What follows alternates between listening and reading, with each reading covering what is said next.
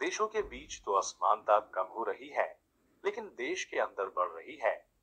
इस असमानता को दूर करने के लिए शिक्षा को सर्व सुलभ बनाना होगा। सहनशीलता और एक दूसरे के लिए सम्मान की भावना से समाज में संतुलन कायम होगा, जो विकास के लिए ज़रूरी है। भारत अहिष्णुता सहन नहीं कर सकता।